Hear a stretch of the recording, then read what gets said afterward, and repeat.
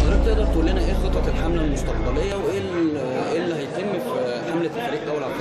بص هو هو يعني بداية الحملة جه من الشارع بمعنى إنه آه، ترشح الفريق أول عبد الفتاح السيسي هو أصبح مطلب جماهيري شعبي حتى من قبل ما تتكون بالحملات الداعمة للفريق والحملة جت كترجمة لل- للإرادة الشعبية اللي موجودة دي عشان تعمل فعاليات ال- الشعب المؤيد لترشح الفريق السيسي وهم بال يعني أبسط رقم يتقال 40 50 مليون مواطن يعني صحيح.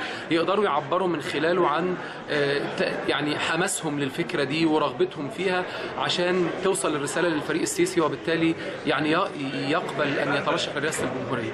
الحملة ابتدت بمؤتمرات صحفية كان بيحضرها نخب سياسية وبعدين الأسبوع اللي فات ابتدت الحملة تعمل مؤتمرات آه، شعبية في المحافظات كان في مؤتمر في 100 آه، غمر في الدقهلية وكان في في المنصورة، في المنوفية. وكان في في المنوفية وهيتم التوسع في دون لأن مؤتمرات الشارع حضرتك عارف تأثيرها بيبقى طبعاً. قوي جدا ودلوقتي كمان بقينا بنتحرك في إطار المؤتمرات النوعية بمعنى إنه آه النهارده فنانين ومثقفين آه ال- في تحرك مع النقابات آه في تحرك مع الطرق الصوفية لأن هم تلقائيا أعلنوا إن هم هيدعموا ترشح الفريق أول عبد الفتاح السيسي.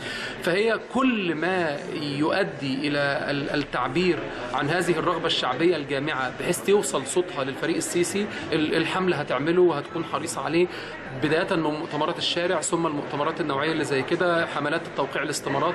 ولكن هناك بعض الحملات تسمى هكمل جميلك يا شعب آه، بتشارك برضو في جمع توقعات آه والله بص يعني إحنا المستشار رفاعي وأظن كل الناس المتحمسين لل- للحملة بتاعتنا دي كلهم على إنه آه، إحنا متفقين إن ده مطلب شعبي ومفيش حد يقدر يحجر آه، على رغبة آه، أي مجموعة عمل إنها تعبر عن ده طالما في الآخر إن الهدف واحد. وأنا متأكد إن بعد شوية لما بس تبتدي الحملات دي تشتغل أكيد في الآخر هتتجمع كلها في يعني إطار واحد واحد وفي قالب واحد وتبتدي تعبر عن وجهة نظرها. تفسير حضرتك بإيه إن الحملة ديت المتحدث الرسمي والمنسق العام بتاعها آه، عبد النبي عبد الستار وخالد العدوي كانوا من أساس حملة كمل جميلك ان هم آه، بص انت أنت عارف طبيعة العمل السياسي. بص ما فيش أسرار. أنت عارف طبيعة العمل السياسي إنه آه، يعني ممكن جدا تتكون فريق عمل ويتجمع مجموعة من من السياسيين أو من النشطاء على فكرة معينة.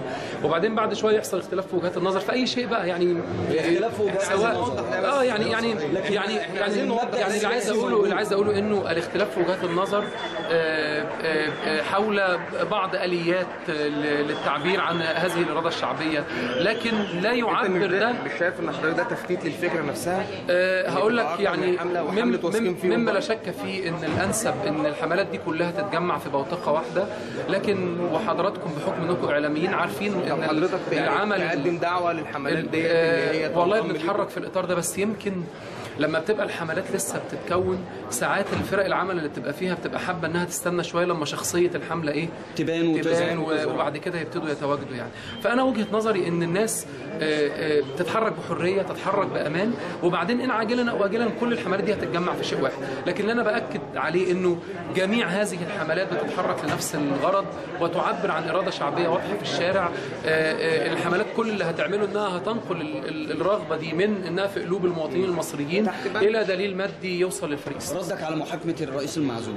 آه والله ده رد الفعل الطبيعي والمنطقي. المعزول الخائن آه ارتكب من الجرائم كلها توصف إنها جرائم أمن قومي وكلها بتهدد الأمن القومي المصري. وبالتالي كان الطبيعي إنه لازم هيتحاكم يعني. وأنا أثق إنه آه القضاء المصري آه عادل وهيطبق القانون والجرائم اللي ارتكبها الراجل ده تكفي إنه يعدم.